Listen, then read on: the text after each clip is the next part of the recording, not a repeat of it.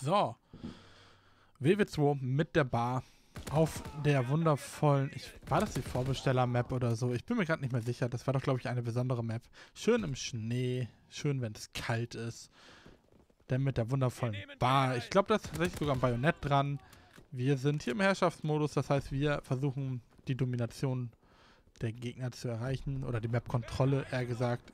Ich bin da ja eher die Person, die versucht, die Gegner von den Flaggen fernzuhalten und abzufangen auf bestimmten Laufwegen, anstatt dass ich sie direkt angreife. Also die Offensive ist bei mir hier auf diesem Spielmodi nicht so sehr vorhanden. Ich bin nicht die Person, die gerne die Flaggen erobert. Das ist absolut nicht meins.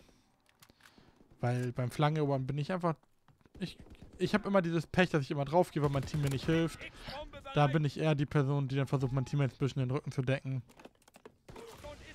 Und dann sterbe ich durch einen Sniper. Gibt's doch nicht. Aber hey, Double Kill. Immerhin das, ne? Er hat zwar Glück, dass... Also, der da oben hatte Glück, dass er mich weggesniped hat, aber hatte halt am Ende Pech, dass ich doch noch da war. Und dann nochmal eine Bombe auf seine Mates werfen kann. Und da oben dieser Sniper. Ach. Oh. Mit der Reihenfeuerpistole daneben geschossen. Das ist natürlich ärgerlich. Nicht genug Munition da drin, um einen längeren Feuerstoß abzugeben. Das ist wirklich ärgerlich, mein Freund. Das ist wirklich ärgerlich. Aber da im Gebäude, da aufhalten, ist immer blöd, finde ich. Ich finde dieses Gebäude hier bei Weitem besser. Da kann man Leute, welche über die große Straße wollen, die Hauptstraße nächstes Mal gut abfahren. Man kann die Leute in den Gebäude teilweise ein bisschen rankriegen. Man kann leicht auf B aufpassen. Man, ich kann in die Gegner-Position reinschauen, von wo sie spawnen. Ich kann hier runter gucken, wie gesagt.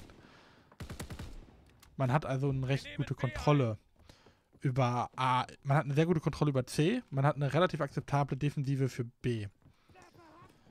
So sehe ich das. Natürlich kann man es noch anders machen, besser handhaben, aber so wie ich so wie ich spiele, also mein Spielstil ist dafür relativ gut ausgelegt.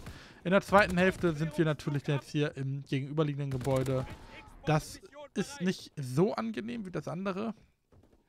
Da bin ich primär auch mehr am Rumlaufen, anstatt dass ich nur äh, ja, dass ich anstatt dass ich nur so in dem einen Gebäude sitze, da bleibe ich so ein bisschen on the move, nenne ich es mal, weil ich versuche da möglichst nicht an einer Stelle zu bleiben, weil ich finde, man hat hier zu wenig offene Fenster und Co um gut die Kontrolle zu halten. Und es ist auch viel zu eng, um einer größeren Menge an Gegnern auszuweichen oder schnell zu entkommen. Deswegen kann ich an solchen Gebäuden nicht gut bleiben. Man muss aber aufpassen, hier durch diese Wand hier links von mir kann man durchschießen. Das ist sehr, sehr ris risky, da zu sitzen.